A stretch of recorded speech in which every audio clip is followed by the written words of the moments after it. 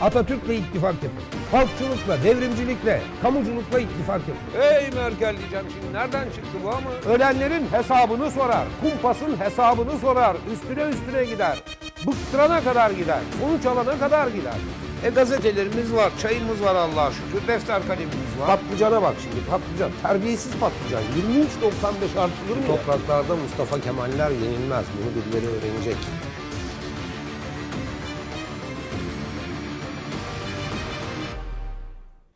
Merhaba sevgili arkadaşlar. Bugün 14 Şubat 2019 Perşembe. Ulusal Kanal'da, Ulusal Radyo'da, Türkiye'nin halkçı devrimci yayın organlarında e, televizyon gazetesine başladık. Hemen başlayalım o zaman. Ha bugün dünya e, se- şey mi? Sevgililer günü değil mi? Hı? Yine masraf ya. Gideceksin şimdi gül alacaksın, bilmem ne alacaksın, şu bu. Oh, oh. Hepinizin Dünya Sevgililer Günü kutlu olsun. Ney? Ha ne günü? Dünya Manitalar Günü mü? Allah'ından bulsan da ya. Bula bula mı buldun sabah sabah? Efendim Uygur kışkırtıcısı tüm Türk demiş ki vallahi ben görmedim ama zulüm var demiş Çin'de Uygur Türklerine. Hmm, iyi. Ben de görmedim ama Uygur e, Türkleri meselesinde biraz e, terör meselesi, Amerika meselesi de var gibi. Dur bakalım hangimiz haklı çıkacağız. Ekonomik tetikçilere Osmanlı tokadı diye bir başlıkla çıkmış Sabah ve benzeri gazeteler Ee, şey devam ediyor. Domates, biber, patlıcan terör örgütünün faaliyetleri demek ki devam ediyor ama onlara da bir Osmanlı tokadı çakmışız. Akit'te ilginç bir haber var. Terör sözcüsü bu provokatörleri kovun diye işte İsveçli, Finlandiyalı bilmem neyli bir heyet gelmiş Türkiye'ye. Barış marış diyorlarmış ama asıl yaptıkları e, PKK'ya falan sahip çıkmakmış. Bakarız ayrıntısına. E, bugün NATO var. Varşova'da Polonya'nın e, kentinde e, İran konulu bir toplantı. Ona da bir göz atarız. Asıl bir başka önemli toplantı var. Nerede? Soçi'de e, var. Astana liderleri yani Putin, Erdoğan ve e, İran e, Cumhurbaşkanı Soçi'de bir araya gelecekler. Temel konu Suriye, İdlib, e, Amerika'nın çekilip çekilmemesi. E, bakalım ne kararlar çıkacak. Şam demiş ki Suriye ordusu tüm topraklarını geri alacak. Yani özellik özellik yok demeye getiriyor. Irak'ta diyor ki yabancı yüz kabul etmeyiz kendi topraklarımızda. Yani Amerika'yı sürecek misiniz? İyi olur. Güzel gelişmeler bunlar. İran'da bir terör olayı var. Benim bildiğim son e, rakam 27 ölü. Devrim muhafızlarını taşıyan bir otobüse karşı yapılan bir saldırı bu. E, biraz sonra Yakup Aslan'la, e, Tahran temsilcimiz Ya- Yakup Aslan'la konuşacağız konuyu. Nedir bu terör saldırısı, neden yapıldı, sonuçları ne olur? Ankara'ya 7 kadın talipmiş Ankara'da belediye başkanlıklarına. Bunların 7'si de Vatan Partisi e, adayları. Abi bakıyorsun hakikaten kadın yok ya. Cumhuriyet Halk Partisi kadın kotası diyor. Kadın kotasına Mehmet Bekaroğlu'nu e, getiriyor. Ama kadın yok belediye başkan adayları arasında. Bir tane Seferihisar'da mıydı neydi o orada vardı. E, onu da geri çektiler. Bir tane Avcılar'da vardı e, belediye başkanları. Başarılıydı da kendi rakamlarına göre. O da gösterilmedi. Ama Vatan Partisi çatır çatır kadın aday gösteriyor. Ankara Büyükşehir Belediye Başkan adayı Tülin Özgür mesela profesör. 7 tane de e, kadın aday onun yanında. Ha şöyle biraz ya. Ha şöyle bir kadınlar girsin işin içine. Ama öbürleri kadın şampiyonluğu yapıyor.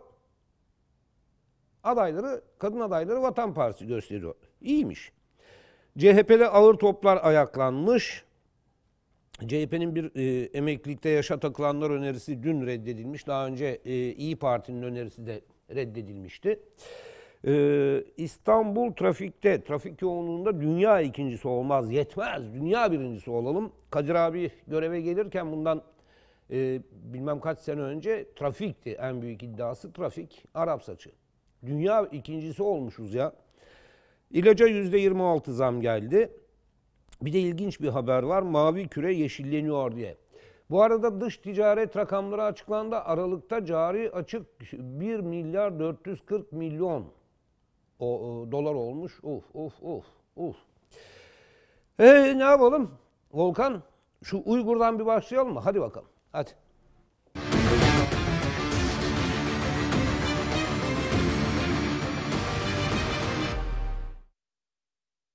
Evet, bu ne zamandır tartıştığımız bir konu. Arada sırada çok öne çıkıyor, arada sırada e, hafifliyor ama bu aralar e, bayağı bir çıktı öne. E, ortalıkta dolaşan kişi de Seyit Tümtürk. Seyit Tümtürk git, e, gitmedim, görmedim ama zulüm var demiş.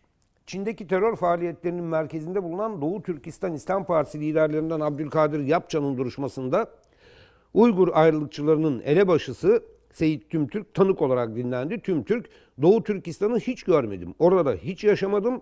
Zulmü dedelerimden duydum dedi. E ne dolaşıp dolaşıp camilerde konferanslar vermeye kalkıyorsun, vaazlar vermeye kalkıyorsun? Terör örgütü kurma ve yönetme suçlarından yargılanan Yapça'nın duruşması önceki gün İstanbul Çağlayan Adliyesi'nde görüldü. Tanık Tümtürk, Yapça'nın yaptığı her şeyi ben de yaptım söylediği her şeyi ben de söyledim diye konuştu. Yapçan'la birlikte Türkiye'de birçok eyleme katıldıklarını belirten Tümtürk, Doğu Türkistan'da Çin zulmüne hiç tanık olmadığını söyledi. Tümtürk, annesinden, babasından, dedelerinden duyduklarını dile getirdiğini ifade etti. Evet, devam edelim arkadaşlar. 1964'te Afganistan e, Kabil'de doğduğunu belirten tüm Türk, Yapça'nın iade edilmesi durumunda Çin tarafından idam edileceğini ileri sürdü yapmaya. Duruşmaya Segbis sistemiyle katılan Yapcan da e, savunmasında amacını Doğu Türkistan'ı Çin'in işgalinden korumak olarak açıkladı. Kendisine Türk vatandaşlığı verilmesini talep eden Yapcan, Çin tarafından kırmızı bültenle aranırken sahte kimlikle yakalanmıştı.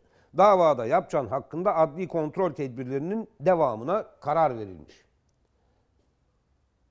Bu Doğu Türkistan İslam Partisi bu IŞİD'in içine katılan ve IŞİD olarak Türk askerine mermi sıkan parti değil mi?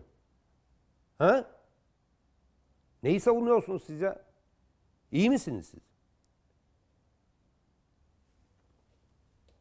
Doğu Türkistan İslam Partisi'nin FETÖ ile sıkı ilişkileri olduğu biliniyor. Oh, oh, oh. Bunu mu savunuyorsunuz?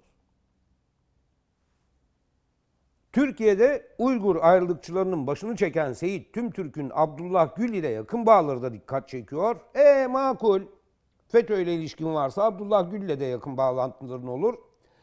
Türkiye'de il il gezerek valileri ziyaret eden Tümtürk'ün silahlı Uygur militanlarıyla yakın ilişkisini belgeleyen fotoğrafları yayınlıyoruz demiş. İşte burada gör, görüyorsunuz. Ellerinde makinalı tüfekler. Seyit Tümtürk de orada.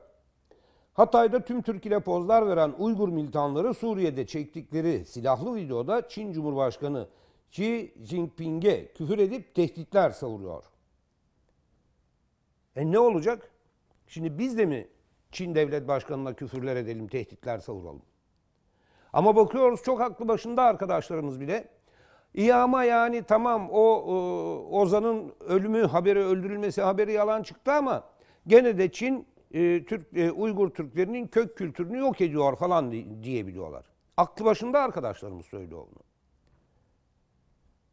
Ne bir yol bir kuşak projesine karşı Amerika'nın kurduğu tezgahlar ne başka şeyler hiçbir hiçbirini gözleri görmüyor. Böyle mesela Karar Gazetesi. Bakın bu işin öncülüğünü kimler yapıyor? O yalan haberi Yeni Şafak yaptı. E bu Uygur İslam Partisi, Doğu Türkistan İslam Partisi Cumhurbaşkanı tarafından da terör örgütü olarak kabul edildi. Hesapta Cumhurbaşkanını destekleyen Yeni Şafak gazetesi bile bunu haber yaptı. Bu yalan haberi yap, e, haber yaptı. Mesela kim işliyor bunu? Karar Gazetesi işliyor. Karar Gazetesi var mı? Bende yoktu Deniz. Karar varsa birinci sayfasını verir misin? Karar Gazetesi yaptı. Ya benim de kardeşim hapiste. Benim de kardeşim işkence gördü.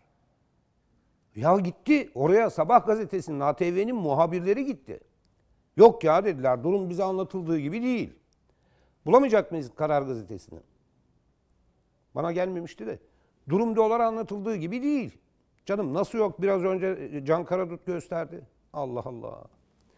Neyse.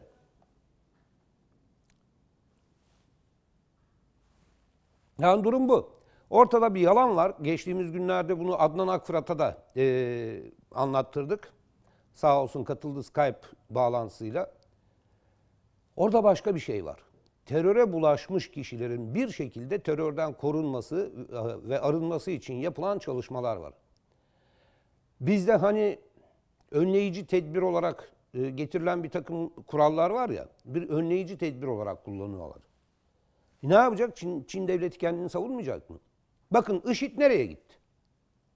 Ortadan kayboldu adamlar. Küçücük bir grup kaldı şeyde, Suriye'de, Irak'ta. Nereye gitti bunlar?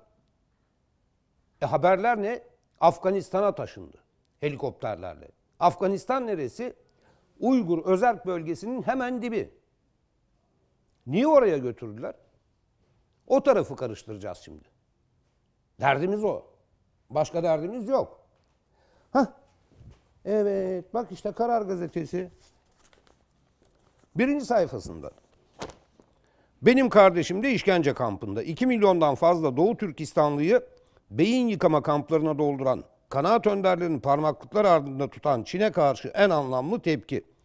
İnsan hakları kuruluşlarının raporlarına rağmen zulmü sürdüren Pekin yönetimine karşı mağdur yakınları Me Too, ben de anlamına gelen Me Too kampanyası başlattı. Çin'in kendini aklamak için yayınladığı, aklamak da tırnak içinde ha, yayınladığı ancak sistemli zulmün kanıtı olan Ozan Abdurrahim Heyit'e ait görüntülerin ardından Finlandiya'da yaşayan Uygurlu aktivist Halmurat Harri harekete geçmiş. Sosyal medyada hashtag açan Harri rejime seslenerek yaşıyorlarsa videolarını gösterin dedi. Çağrıya diğer aileler de katıldı. Çok sayıda Uygurlu kamplarda tutulan akrabalarının videolarının yayınlanmasını istedi. E yayınlanır. Ama bu arkadaşlar kim? Bu Karar Gazetesi kim?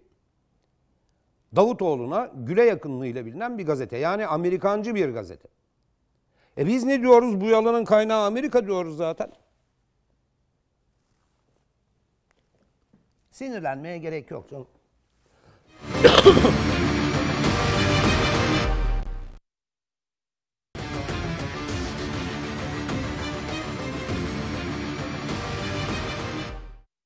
Şimdi e, Avrupa'da, Varşova'da, Polonya'da bir NATO toplantısı var. Bunu Avrupa'da İran çekişmesi diye vermiş Aydınlık 7. sayfasından. Aslında birinci sayfada da var mı? Ha şey, Cumhuriyet mi bu? Evet, İran'a baskı amaçlı Varşova'daki Orta Doğu Konferansı'na düşük katılım dikkat çekti. Orta Doğu politikasını İran'a baskı ve İsrail'in güvenliği ekseninde şekillendiren ABD'nin öncülük ettiği Orta Doğu'da barış, istikrar, özgürlük ve güvenlik temalı konferans Avrupa'nın beklenenden düşük düzeyli katılımıyla dün Varşova'da başladı. ABD'den Başkan Yardımcısı Mike Pence, Dışişleri Bakanı Mike Pompeo, ne kadar Mike varsa gitmiş demek ki Varşova'ya. Başkan Donald Trump'ın damadı ve danışmanlarından Jared Kushner ile özel temsilcisi Jason Greenwald e, bunlar katılmış. 60 ülkeden heyetlerin bulunduğu konferansta 110 Orta Doğu ülkesi, ülkesinin bakan düzeyinde İsrail'in ise Başbakan Benjamin Netanyahu tarafından temsil edildiği bildirildi. Avrupa Birliği'nin lokomotif ülkeleri Fransa ve Almanya İran'ın hedef tahtasında ola, e, olacağını belirtilen Varşova konferansına yalnızca bürokrat gönderirken Avrupa Birliği Dış İlişkiler Yüksek Temsilcisi Federica Mogherini'nin de katılmaması dikkat çekti. Konferansın finansörü ABD'nin Dışişleri Bakanı Pompeo, bu zirve en çok İran üzerine odaklanılacaktır e, ifadelerini kullandı. Pompeo, dün Varşova'da uzun süredir Orta Doğu'dan kaynaklanan riski azaltma misyonunu üstlenecek küresel koalisyonun kurulmakta olduğunu ilan etti. Orta Doğu'dan kaynaklanan riski azaltma misyonunu üstlenecek küresel koalisyon. Ne demek bu? Orta Doğu'dan hangi risk kaynaklanıyor? Risk sizden kaynaklanıyor. Gidiyorsunuz Orta Doğu'ya petrollerine el koymak için milyonlarca insanı öldürüyorsunuz. Milyonlarcasını evlerinden, yurtlarından ediyorsunuz. Çocuklar babasız, e, eşler kocasız kalıyor. Ondan sonra Orta Doğu'dan kaynaklanan riski azaltma misyonunu üstlenecek küresel koalisyon diye böyle şatafatlı laflar söylüyorsunuz. şatafatlı koalisyonlar kuruyorsunuz. Polonya Dışişleri Bakanı Jacek e, herhalde öyledir. Avrupa Birliği'ni Orta Doğu'daki durumu etkileyecek yeterlilikte bir siyasi ağırlık koyamamakla eleştirdi. Ne yapacaktı Avrupa Birliği? Ordusuyla oraya mı girecekti? İran'ın Dışişleri Bakanı Cevat Zarif ise Varşova Konferansı'nın ölü doğduğunu söyledi. Türkiye'nin siyasi düzeyde konferansa katılmayacağı, zirveyi Türkiye adına Varşova Büyükelçiliği'nin takip edeceği belirtilmişti. Moskova hükümeti de konferansa katılmayacağını açıklamıştı. ABD'nin Tahran'a karşı yaptırımları bypass etmek üzere İran'la Fransa, Almanya ve İngiltere arasında kurulan ödeme mekanizmasının etkisizleştirilmek istendiği bildiriliyor. Konferansın Atlantik'in iki yakası arasında süre giden İran sürtüşmesini pekiştirmesi bekleniyormuş. Dahası yorumlarda Avrupa Birliği'nde göçmen politikasına itiraz eden Visegrad ülkeleriyle yani Polonya, Macaristan, Çekya, Slovakya bunlarla Washington arasındaki ilişkilerin kuvvetleneceği, Orta Doğu'da etkisini arttıran Rusya'ya önlemin arttırılmasının hedeflendiği değerlendirmeleri öne çıkıyormuş. Benzer şekilde Pompeo'nun Varşova'daki konuşmasında dikkat çeken bir başka vurguda Orta ve Doğu Avrupa ülkelerini Çin ve Rusya'nın etkisine karşı direnmeye çağırması olmuş. Öte yandan İran destekli Hizbullah'a karşı Lübnan ordusuna desteğini sürdüren ABD'den bir adım daha geldi. Ee, Washington'dan yapılan açıklamada Lübnan ordusuna 16 milyon dolar değerinde lazer güdümlü füze teslim edildiği belirtildi. Hadi birbirinizi vurun diyor. Hadi Araplar, hadi Lübnanlar, hadi Farslar, hadi Kürtler, hadi Ezidiler, hadi Türkler birbirinizi vurun, öldürün, kaos olsun. Yaptıkları bu. Evet. Şimdi tabii bütün bu gelişmeler arasında tam da bu Varşova toplantısının yapıldığı günde İran'da bir bomba patladı. İran devrim muhafızlarını hedef aldı zannediyorum. Ee, benim en son edindiğim rakam 27 ölü var. E, nedir bu terör saldırısı? Neden yapıldı? Sonuçları ne olur? Şu andaki durum ne? Yakup Aslan'a bağlandık. Yakup merhaba. Merhaba, günaydınlar, iyi yayınlar annemler. Nedir bu terör saldırısı? Ee, çok vahim bir tablo var e, ortada. Devrim muhafızlarına yönelik bir şey. Hem de e, böyle bir e, Varşova toplantısının yapıldığı gün olan bir saldırı. E, yine işte Soçi'nin hemen öncesinde yapılan bir saldırı. E, neyle anlamlandırabiliriz bu saldırıyı? Önce saldırıya ilişkin son notları aktaralım isterseniz Halil izleyicilerimize. Dün akşam saatlerinde sayıyla ilgili, ölü sayısıyla ilgili e, bir muamma vardı. 41 olarak geçti. İran'daki bazı haber ajansları ölü sayısını, hayatını kaybedenlerin sayısını ama e, devrim muhafızlarından yapılan açıklamada e, bu sabah e, erken saatlerde yapılan açıklamada ölü sayısının 27, yaralı sayısının 13 olduğu bilgisi söz konusu. Ee, İran İran devrim muhafızları Kudüs e, sınır gücü e, hedef alındı bu saldırıda. E, bir askeri personel taşıyan otobüse e, bomba yüklü araçlı intihar saldırısı gerçekleşti. E, eldeki veriler bu yönde. E, tabii bölgede büyük çaplı yeni e, operasyonlarında yapıldığını söylemekte fayda var İran devrim muhafızları tarafından. Hal böyleyken tabii e, özellikle zamanlaması dikkat çekiyor. Sizin de girişte söylediğiniz gibi Soçi'de bugün var. Varşova'da İran karşıtı bir toplantı. İran Dışişleri Bakanı'nın tabiri Varşova Sirki toplandı.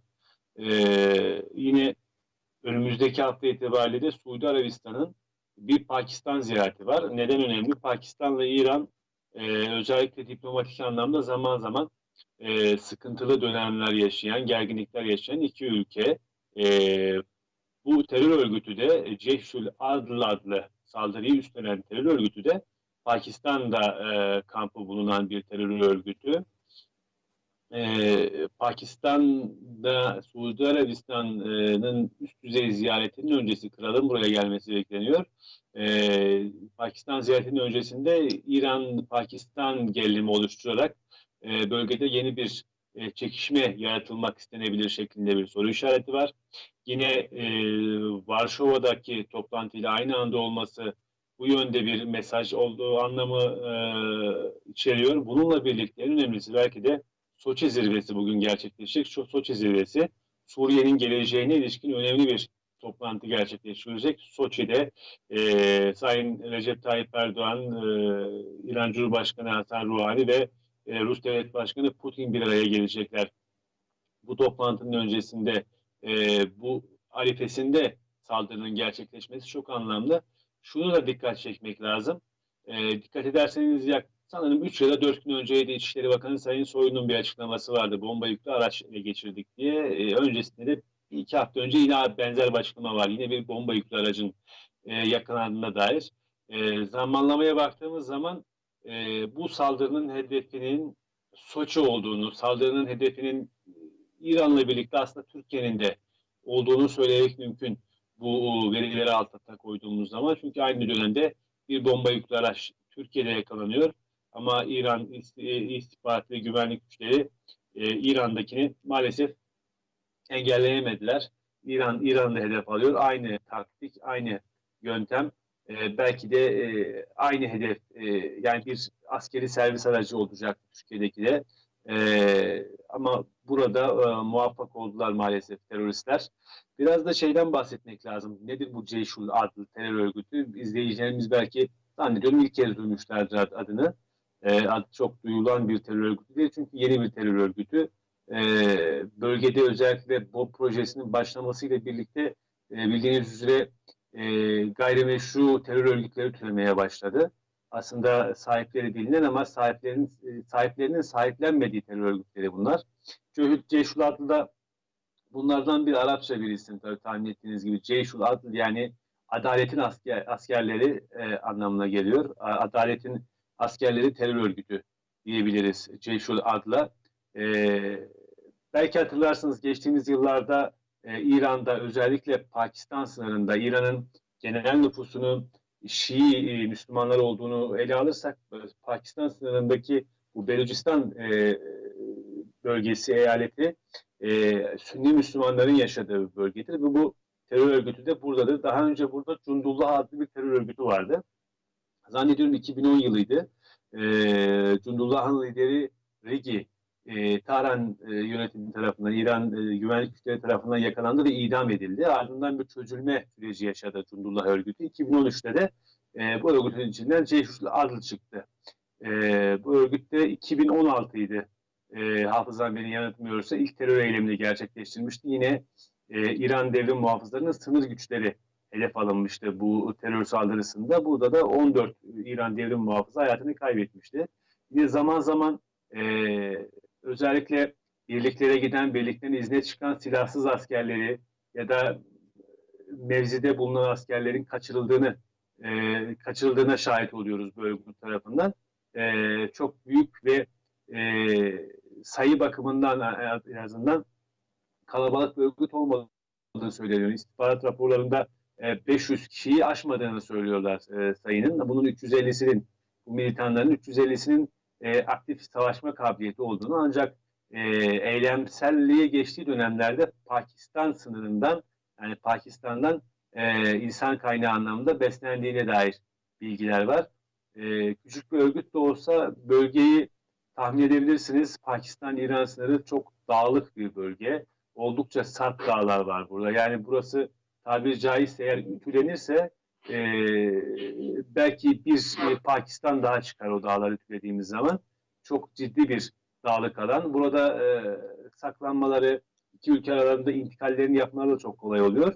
E, ve bu terör örgütü de 2016'dan beri İran'da kanlı eylemler gerçekleştirdi. Belki de İran tarihinin yani İran İslam Cumhuriyeti tarihinin en fazla kayıp verilen terör saldırısı diyebiliriz. E, sayının da ölü sayısının da artışından endişe duyulduğunun altını çizelim.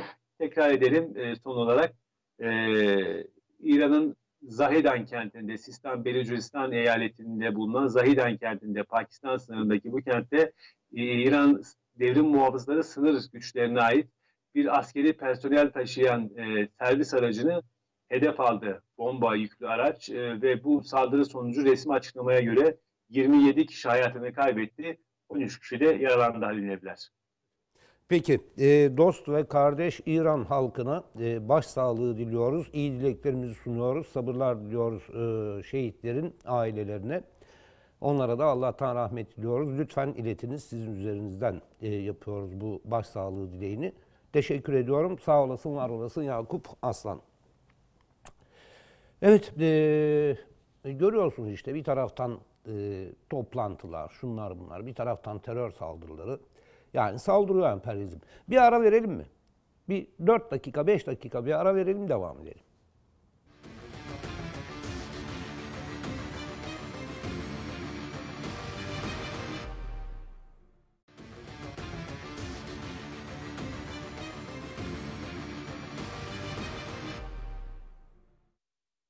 Evet, e, devam edelim arkadaşlar. Şimdi bakın e, biz HDP e, PKK'nın siyasi koludur, yan koludur, meclisteki koludur dediğimiz zaman kapatılmalıdır ya da hiç kurulmamalıydı dediğimiz zaman demokrat tırnak içinde arkadaşlar o da tırnak içinde ya siz demokrasi 6 milyon oyu var bilmem ne falan diye bize laf söylemeye çalışıyorlar. Arkadaşlar her şey oy demek değildir. O zaman AKP'ye niye karşısınız? He? Onların da oyu var. Bakın demokrasilerde hiçbir demokrasi kendi kendini yok ettirmez. Hiçbir demokrasi terörle mücadele etmeyeyim diyemez. Ama o öyle yaptı bu böyle beni hiç ilgilendirmiyor. Bakın Türkiye Cumhuriyeti Anayasası'na göre, Türk Siyasi Partiler Kanunu'na göre hiçbir siyasi parti lideri ya da yetkilisi Türkiye'nin güneydoğusundaki iller için Kürdistan diyemez. E diyor. HDP eş başkanı Sezai Temelli. Mecliste grup toplantısında, meclis grup toplantısında bakın neler söylüyor. İzleyin. 1 Mart'ta tarihi bir zafer kazanmak için seçim stratejimizi açıkladık. Kürdistan'da kazanacağız, Batı'da da AKP ve MHP'ye kaybettireceğiz. Hem kazanacak hem kaybettireceğiz. Türkiye'nin her bir yerinde AKP MHP ittifakını geriletmek için verilen her oy Türk Nerede kazanacakmış bu arkadaşlar? Tırnak içinde arkadaş. Kürdistan'da kazanacakmış. Var mı öyle bir yer Türkiye coğrafyası haritasında? Yok. Siyasi haritasında yok. E şimdi bu parti kapatılsın dediğimiz zaman niye kızıyorsunuz? Bakın e, HDP'nin eski Van milletvekili Nadir Yıldırım hakkında tutuklamaya yönelik yakalama kararı var Yıldırım'ın. Buna bir e, tweet atılmış. PKK'yı bitireceğiz çaresizsiniz diye. HDP eski milletvekili, eski Van milletvekili hakkında tutuklamaya yönelik yakalama kararı olan milletvekili şöyle bir tweet atıyor. Arkadaşlar tweet'i görelim. Hiçbir zaman çaresiz olmadık. Nadir Yıldırım söylüyor bunu. Eski milletvekili HDP'nin. Çünkü PKK var. PKK bitmez. PKK nicelerini bitirdi faşistlerin. Sıranızı bekleyin. Sizi de bitirecek. Topalınızla, reisinizle, hav hav yapanınızla. Pek yakında demiş. Şimdi bakın dur dur be kardeşim bir dakika. PKK bitmez diyor. PKK öyle bir biter ki. Başka ne diyor? PKK nicelerini bitirdi faşistlerin. Faşistler kim? Askerler, polisler, değil mi? Korucular, bir takım PKK'ya pas vermeyen, PKK ile e, birlikte yürümeyen yöre halkı, başbağlar halkı mesela. Cinayetleri savunuyor, PKK cinayetlerini. Sizi de bitirecek diyor. Kimmiş bitecek olanlar? Topalınızla, reisinizle hav hav yapanınızla. Kimi kastediyor? Bir, Doğu Perinçe'yi. İki, Tayyip Erdoğan'ı. Üç, Devlet Bahçeli'yi kastediyor. Bunları da bitirecek PKK diyor. Bunlara bir cevap geldi.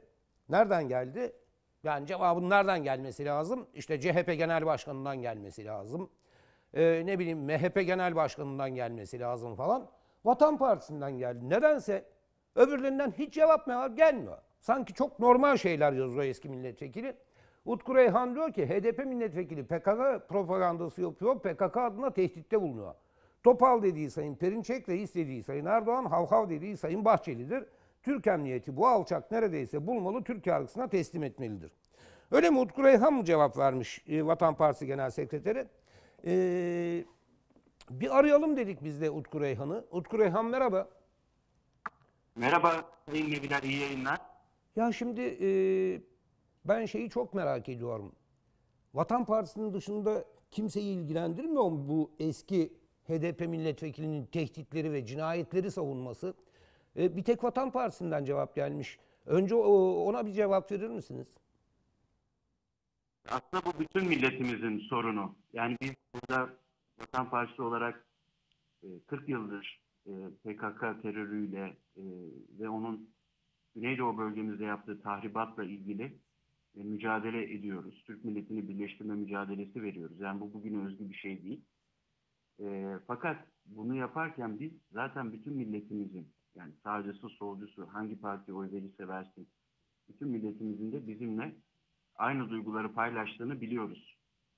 Tabii bizim dışımızdaki e, siyasi partiler e, tırnak içerisinde bu bir yanlış bir önerme.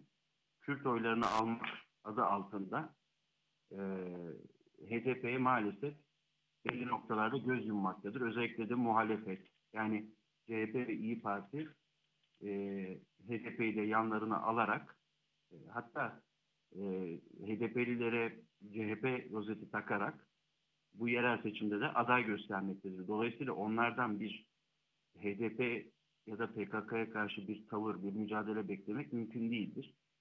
E, hükümet ve e, MHP ile ilgili e, aynı değerlendirmelerde bulunamam. Çünkü e, onlar şu anda fiilen e, PKK ile mücadele meclisindedir. E, PKK hendeklere gömülürken ya da Fırat Kalkanı ve Zeytin Dalı harekatlarıyla PKK-PYD'nin kurmak istediği koridor parçalanırken biz e, bu hükümetle ve e, MHP ile aynı e, çizgide yer aldık. Peki. e, Dolayısıyla e, evet. bu tweette de dikkat ederseniz zaten e, Sayın Perinçek'le birlikte Sayın Erdoğan ve Sayın Bahçeli hedef alınmaktadır. Evet şimdi Çünkü- e, işin şey tarafına geçelim mi?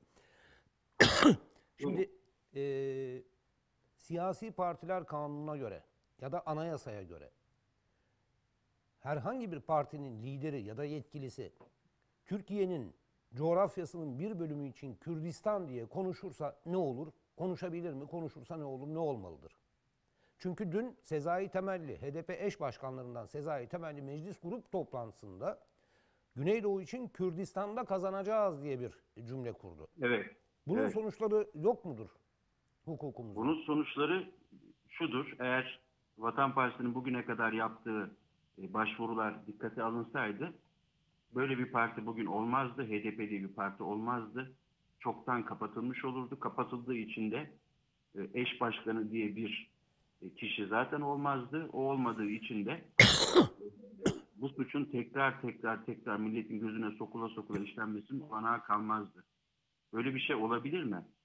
Şimdi biz e, Vatan Partisi olarak bu son iki olayı yani bir Sezai Temelli'nin e, Kürdistan'da seçimi kazanacağız laflarını, ikincisi de bu Van milletvekilinin e, PKK sizi mahvedecek, PKK e, kazanacak laflarını da tekrar Yargıtay Cumhuriyet Başsavcılığına ileteceğiz. Evet. Yani bir e, bize diyorlar ki işte efendim bu yasal bir şekilde kurulmuş bir siyasi partidir. Yasal bir şekilde kurulmuş olması yasa dışı hareketler yapabileceği anlamına gelmiyor. Eğer yasa dışıysa anayasa ve siyasi partiler kanununda parti kapatma nedeni olabilecek olacak fiilleri işliyorsa bu parti kapatılır. Buna göz yummanın hiçbir anlamı yok. Burada hükümet tutuk davranmaktadır. E, Adalet Bakanlığı'nın e, Yargıtay Cumhuriyet Başsavcılığına başvurma hakkı vardır bu partinin kapatılması için. Biz e, Vatan Partisi olarak bunu tam üç kez yaptık. HDP'nin kapatılması için Yargıtay Cumhuriyet Başsavcılığına e, başvuruda bulunduk ama maalesef bugüne kadar HDP ile ilgili bir soruşturma başlatılmamıştır. Anayasa Mahkemesi'ne dava açmayı bırakın henüz soruşturma bile başlatılmamıştır. Maalesef e, Türk e, maalesef yetkililer e, bunu görmezden gelmektedir ve tek tek kişilere yönelik soruşturmalar açmaktadır. Şimdi göreceksiniz bu Van milletvekilinin bu sözleriyle ilgili de soruşturma açacak. İşte cenazeye gidenle ilgili soruşturma açılacak. HDP grubunda sözde gerilla maçları söyleyen, Bici Apo sloganları atanlarla ilgili soruşturma açılıyor. Fakat sanki bunlar yalnızca kişisel suçlarmış gibi bir hava oluşuyor. Halbuki bu parti bütün yönetim kademesiyle hatta örgütleriyle bu suçu kolektif bir biçimde işlemektedir. Bakın 6-7 Ekim olaylarını, 2014 olaylarını hatırlayın. PKK sokağa çağırdı. Bu partinin Merkez Yürütme Kurulu toplandı ve e, Güneydoğu'da ayaklanma çağrısı yaptı HDP. Merkez Yönetim Kurulu. Evet. Bu partinin eş başkanı çıkıyor. Ben biz diyor sırtımızı PKK'ya dayadık diyor. İşte şimdiki eş başkanı çıkıyor. Biz diyor Kürdistan'da seçim kazanacağız diyor. Öbür eş başkanı çıkıyor. Biz e, Apo'nun heykelini dikeceğiz. Alışın buna diyor. Öbürü çıkıyor. E, HDP diyor bir Sayın Öcalan'ın projesidir diyor. E, PKK sizi tükürüğüyle boğar diyor bir başka yöneticisi. Şimdi bu yalnızca tek tek bireylerin suçu olabilir mi? Bu belli ki bu partinin kuruluşundan bütün faaliyetlerine, bütün eylemlerine kadar e, terör örgütü tarafından yönlendirildiği çok açık. Artı hem milletvekili hem yerel seçimlerde bütün adayların nasıl hangisinden onaylandığını hepimiz biliyoruz. Kendileri de bunu gizlemiyorlar zaten. Yani Diyarbakır Büyükşehir Belediye Başkanı adayı kim olacak? Bu HDP organlarında karar verilmiyor. Sağda örgütü tarafından karar veriliyor. Böyle bir partinin bırakın Türkiye'yi dünyanın herhangi bir yerinde yasal siyasi faaliyet yürütme şansı yoktur. Bu Amerikan piyonu örgütün, Amerika'nın 20 bin tır silah verdiği örgütün, PKK'nın, terör örgütünün yasal uzantısıdır. Yasal görünümlü uzantısıdır. Yasal olması meşru olduğu anlamına gelmiyor.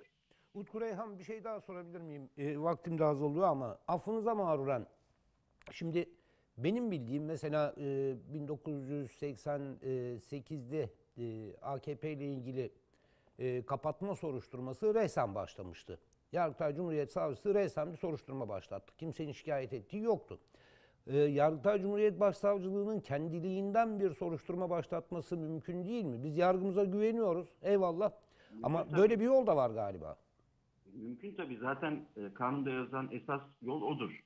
Yargıtay Cumhuriyet Başsavcılığı resen soruşturma başlatır.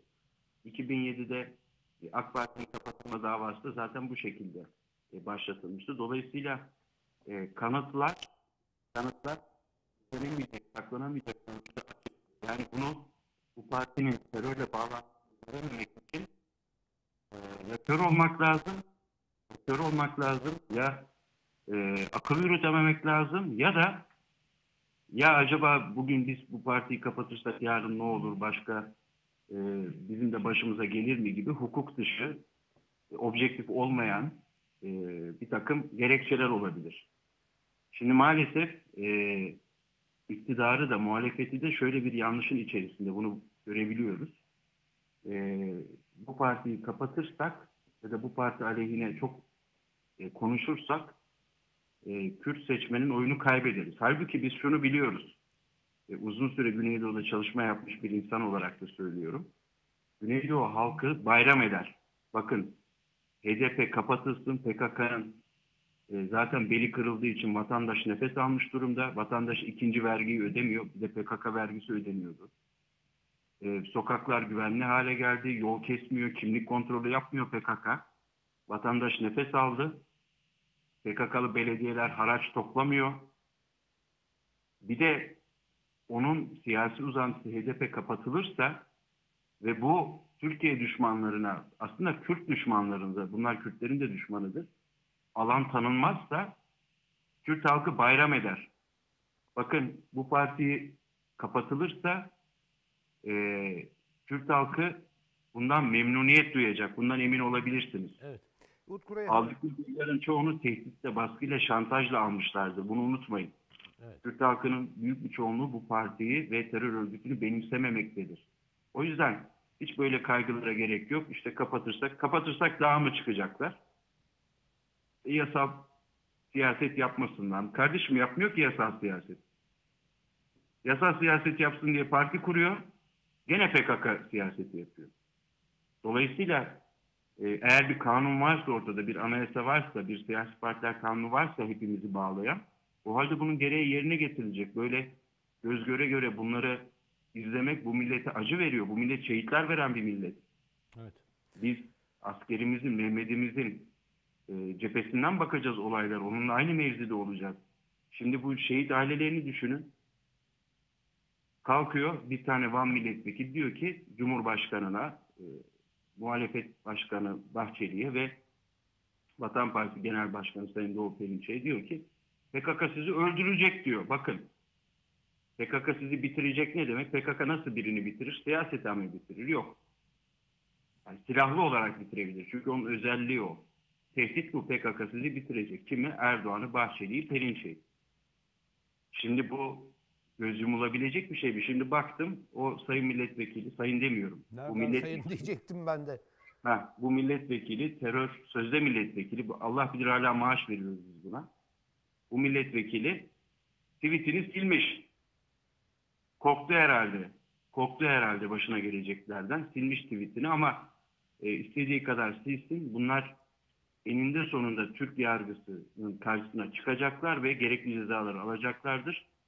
Hem kendisi hem partisi. Evet. Yani bu parti bugün konjonktür olarak açık tutulması gerektiği için açık tutuluyorsa ki çok yanlış bir şey. Ama ne olursa olsun eninde sonunda bu parti kapatılacak. Evet. Böyle bir partinin Türkiye'de Türkiye savaşırken PKK ile Amerika ile boğaz boğaza gelmişken her cephede denizde karada karşı karşıya gelmişken Türkiye'ye kurşun sıkan bir partinin e, yasal siyaset yapma olanağı yoktur. Bu Evet, gerçek. Utku Reyhan vaktim doldu ama bir başka konuda bir tek cümlelik e, bir e, düşünceni almak istiyorum. Bir tek cümlelik. Buyurun. E, başka partilerde kadın kotaları var, bilmem neler var ama bakıyorum aday yok, kadın aday yok. Siz dün 7 aday birden gösterdiniz Ankara'da. Sadece Ankara'da. E, e, Ankara Büyükşehir Belediye Başkanı adayınız da kadın. Yani Evet. e, kadınlar kadınlara bu eğiliminiz neden? E, daha mı becerikliler yoksa toplumsal eşitlik açısından mı bakıyorsunuz? Efendim hiçbir özel sebebi yok. Bakın biz e, kadın olsun, işte kadınların da e, bizim partide olduğunu gösterelim. Efendim e, bir cümle dediğiniz için virgülle kullanıyorum. Peki. E, kadınlar da bizde var. İşte toplum hep- erkek bizde kadın koyarak öne çıkalım gibi bir anlayışımız yok. Bizim için bu son derece doğal. Çünkü kadın erkek eşittir. Bizim için liyakat önemlidir. E, Ankara Büyükşehir Belediye Başkan adayımızda, Ankara'nın ilçelerinde gösterdiğimiz e, adaylarımızda, Bursa'da, Adana, Bursa Büyükşehir'de, Adana Büyükşehir'de, Trabzon Büyükşehir'de, birçok büyükşehirde ve il belediyesinde, ilçe belediyesinde bizim kadın adaylarımız var. Ama emin olun aday gösterirken aa kadın mı o halde hemen aday gösterim gibi bir tavır içinde değiliz. Bu bizim için Anladım. doğal bir süreç. Anladım. Özel bir tavırımız ya da kota gibi aslında kadınları belli oranda eee Sınırlayan bir şey o aslında kadınlar. Ülken varlıklar haline getiren yaklaşımlarımız yok. Evet. Peki teşekkür ederim Utku Reyhan. Şöyle anladım ben. Hayır kadın ya da erkek. E, Eti Meskut e, belediye başkanlığını en iyi bu hanımefendi yapar e, diyerek e, koydunuz değil mi? Çok Aynen teşekkür, öyle. Çok teşekkür ederim sağ olun. Teşekkür Vatan. Vatan. Partisi Genel Sekreteri Utku Reyhan'la konuştuk. Ee, tabii önemli şeyler söyledi. Yine devam edeceğiz. İkinci bölümde yani aslında üçüncü bölümde reklam aralarına göre bakarsak Ferit İlsever'le birlikte olacağız. Onunla da e, ilginç şeyler konuşacağız. Devam edeceğiz.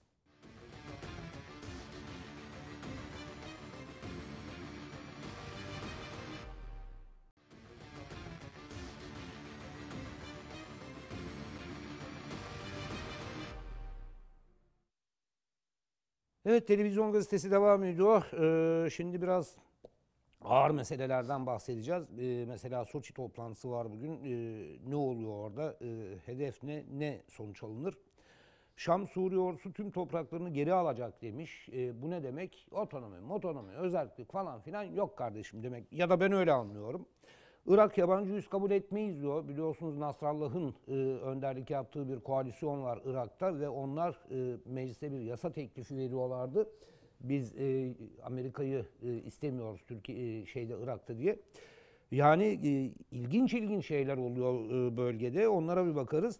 Ama bir de e, domates, pat, e, biber, patlıcan terör örgütünün eylemleri var.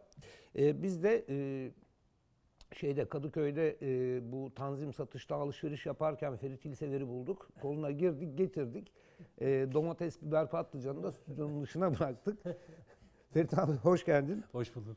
Ya günlerdir domates, biber, patlıcan konuşuyoruz. Tanzim satış konuşuyoruz. E, kimileri diyor ki ya işte seçim yatırımı. Kimileri de diyor ki "T- tamam olsun vatandaş iki buçuk ay hiç olmazsa e, adam gibi ucuz bir şeyler alsın. Ya kuyruklar oluşuyor. E, oluşuyor. En çok ne diye bağırıyordu Tayyip Erdoğan? 80'den önce kuyruklar, benzin kuyrukları vardı. Sana ya Böyle bir tartışma var. Ben merak ettim. Ferit abi kuyruktan aldık getirdik seni de ama. ne diyorsun tanzim satış işine ve domates, biber, patlıcan terör örgütünün eylemlerine? Şimdi e, günaydın Halicim önce size bütün izleyicilerimize saygılarımızı sunuyorum. E, şimdi burada atılan adımda hedef olarak aracılar ilan edildi değil mi? Üreticiden alıyor aracı çok pahalı ya e, marketlere satıyor ve marketlerde pahalı bir şekilde satıyor. Onun için devlet devreye girdi. Tayyip Erdoğan'ın E hani serbest piyasa ekonomisini savunuyordu bunlar. Serbest piyasa ekonomisinde devlet devreye girer mi? Evet. Kamucu mu oldular Evet. şimdi? Kamucu mu oldular şimdi? Çok güzel bir soru. Ne oldular? Ne, ne- ne yapıyorlar yani? Ne Ya da hayat onları kamucu mu yapıyor? Ya şimdi e, şunu söyleyeyim Halil'ciğim. Bu tabii e, şey büyük marketlerdeki fiyatların altında almak için vatandaşın o kuyruklarda beklemesi vesaire ve alması en sonunda 2 kilo 3 kilo falan galiba alınıyor değil mi?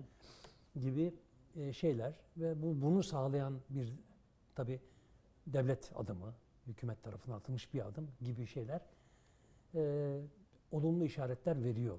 Bazı olumlu işaretler veriyor ve sonuç iti- itibariyle yani son e, şeyde bazı yerlerde, bazı e, alanlarda tabii çok dar. Türkiye'nin geneline baktığımızda, nüfusa baktığımızda bu e, tür alışverişlerle e, olumlu adım falan dediğim şey ne kadar kime yansıyor, kaç kişi yansıyor? Onlar hepsi bir soru, çok ciddi soru. Fakat yani burada siz birkaç gündür de ulusal kanalda işleniyor mesele. Tabii ki temel soruna temel çare olarak böyle bir şey olamaz, böyle bir cevap olamaz. Yani ben aracı kaldırıyorum, tamam. Devlet olarak bu işi yapıyorum gibi bir şey e, esas olarak e, çözüm olamaz. Yani bu daha doğrusu şöyle söyleyeyim, çözümü bu vesileyle tabii konuşmuş olacağız. Bu konu açıldığı zaman peki yani bu çözüm mü? diye Herkesin, şimdi sizin de sorunuz bu. Çözüm mü bu falan. Herkesin sorusu bu. E, cevap aradığı soru bu daha doğrusu. Ve bu açıldığı zaman kaçınılmaz olarak tabii bunun e, olumlu sonuçları, bazı olumlu sonuçlarını altını çizmek gerekiyor. Ya şimdi bak bu yayını Ya yaparken Ferit abi bir Buyur. lafını böleceğim ama ne kadar meşhur bir adammışsın sen ya. estağfurullah. Amerika'dan Estağfurullah. Taylan Köksal, Ferit abimize selamlar diye selam gönder. Amerika'dan. İyi. Internasyonel bir e, Ya. Avustralya'dan geliyor. Sen boş ver onları. Ciddi mi? Şaka. E, Taylan Köksal, e, Ferit abi de sana selam söylüyor. Evet, Peki. ya e, şaşırdım. Ben Amerika'da yaşadığını biliyorum onun. Evet. Özür dilerim böyle. Estağfurullah rica ederim. Şimdi e, Halil Bey burada e, şunu söylüyorduk. Devlet adımı anlamında bir atılmış bir adım var. Peki bak şimdi yine bu yayını yaparken sizin en çok kullanılan şeylerden bir tanesi röportajlar bunlar. Yani üreticilerle falan yapılan e, röportajlar. Yayın dediğim benim bu. En çok kullanılan şeylerden bir tanesi bu fiyatlar yani bu tanzim satışındaki fiyatlar üreticinin maliyet, ürün maliyet bedelinin altında. Evet. Ya da o düzeyde. Değil mi? Yok e, çoğunlukla e, maliyet artı nakliyenin altında. Maliyet artı nakliyenin altında. Evet. Tamam. Yani o da e, en sonunda maliyet demek yani sonunda en sonunda ürünün maliyetleri demek değil mi? Peki yani e, şimdi bunu kim yapıyor? Bunu üretici mi sağlıyor? Bu üretimin e, ürünün maliyet değerini sebebi, müsebbibi üretici mi? Çiftçi mi? Köylü mü? Tarım çalışanı mı? Kim? Peki yani burada şimdi bir defa ne oluyor? Sonuç itibariyle bugünkü tablo içinde ne oluyor Halil Bey? Bir devlet üreticinin maliyeti maliyetinin altında ya da o düzeydeki o düzeydeki bir ürünü mutlaka üreticiden alıp da tanzim satışında satacakken daha ucuza alıyor. Değil mi? Yani devlet dolayısıyla burada bir defa bir kazık yiyor. Yani şayet, şayet olay böyleyse. Buna Ama e, bence kibarca biz e, görev zararı diyoruz. görev zararı diyoruz. Ama bence daha vahimi şu. Bunu yaparken devlet, iktidar daha doğrusu iktidar kafayı ithalata takıyor. Ya burada sen üreticinin maliyeti bu mu? Ben bunu arkadaş soğanı İran'dan ithal ederim. Tamam Yalnız mı? burada bir, bir şey daha var. Bu maliyet de yüksek. Hangi maliyet? Mesela İthalat. hayır hayır. E, üreticiden maliyetini alıyor diyoruz ya. Tabii tabii. O fiyat da yüksek. Zaten- şundan yüksek. Zaten onu konuşacağız. Ha, Esas şundan yüksek. o, çözüm o. E, diyelim patates 2 liraya alıyor, 2 liraya satıyor burada. Evet evet. İyi de biz patatesi 1-2 sene önce 50 kuruştan 75 kuruştan Zaten alıyorduk. oraya geleceğiz. Es- Esas mesele o. Bu maliyet onu- de yüksek yani. Ben onu anlatmaya çalışıyorum. Yani şimdi bir defa burada bu yapılan işte, tamam mı? Şu anda yapılan işte ki şeyin devletin pozisyonunu bir netleştirelim diye söylüyorum bunları. Yani sen dediğin gibi ürünü üreticiden alıyorsan devlet olarak kazı yiyorsun bir. Yani daha ucuz almak zorundasın. İki ama zaten o ucu, o fiyatı yapan da sensin ayrıca. Onu geleceğiz. Yani o fiyatın müsebbibi sensin, üretici değil. İkincisi ve daha önemlisi ben bunu diyorsun e, üretici buna şey yapıyorsa, e, satıyorsa, maliyeti buysa ben bunu İran'dan ithal ederim. Bilmem nereden ithal ederim. Daha ucuza ithal ederim. Tamam mı? Burada da ne yapıyorsun arkadaş? Üreticiye bir de böyle bir kazık atıyorsun. Patatesi bilmem nereden, soğanı İran'dan, şuradan, buradan alarak bir de diyorsun ki hayır sen üretme. Tamam mı? Senin üretmene gerek yok. ölsün mü o adam ya? Ha, şimdi geliyoruz oraya. Demek ki Ali Bey bütün olayın şeyi, müsebbibi öyle üretici, bilmem halk, çiftçi, köylü bilmem ne falan filan değil. O ürünün, o maliyetinin tamam mı? O kadar yüksek olmasının e, sebebi olan hükümet politikaları. Mafya sistemi Halilciğim. Mafya gladio sistemi. Onun tarım politikaları. Şöyle düşünebilir miyiz? E, mafya gladio sistemi tamam da bu mafya mafya gladio Açalım. sistemini e, nereye oturtacağız Oturtalım. mesela? Mazota oturtacağız Halilciğim. Hayır, e, ben daha e, teorik Tamam. anlamda bir şey Peki, e, aklıma geldi. Tabii, tabii. E, Sen ne dersin? Tabii. Şimdi e, şöyle bir şey var. Dünya e, Sovyetler Birliği'nin çöküşünden sonra özellikle tek kutuplu e, şeye geçince, sisteme geçince müthiş bir neoliberal ekonomi kültürü başladı. Bu kültür şu. Ben bunu görüyorum. Özellikle Türkiye'de bu çok net. Bakın tarım satış kooperatifleri, tarışlar, bilmem neler, şunlar bunlar. Bir sürü kooperatif vardı bizde. Tabii ya. Üretici birlikleri, kooperatifleri vardı. Ama neoliberal küresel sermaye bunları istemiyor. Tabii. Çünkü bunlar kar amaçlı değil, kar üzerine kurulu değil. Ne üzerine kurulu? Tüketici ve üreticinin haklarını korumak üzerine. Uluslararası sermayenin, küresel sermayenin, neoliberalizmin istediği kar. Tamam. O zaman şirket üzerine Tabii, gitmesi gerekiyor. Tabii. Hepsini lave ettiler, şirketlere devrettiler. Tamam.